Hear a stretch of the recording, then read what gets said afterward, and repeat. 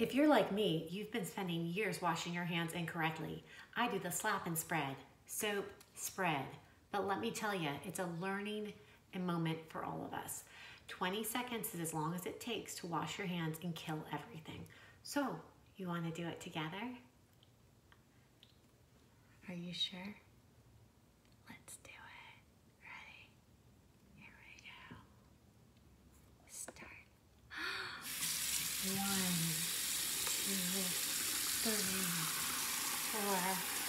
five, six. Under the nails because that's the good part. On the top. Ooh, ooh.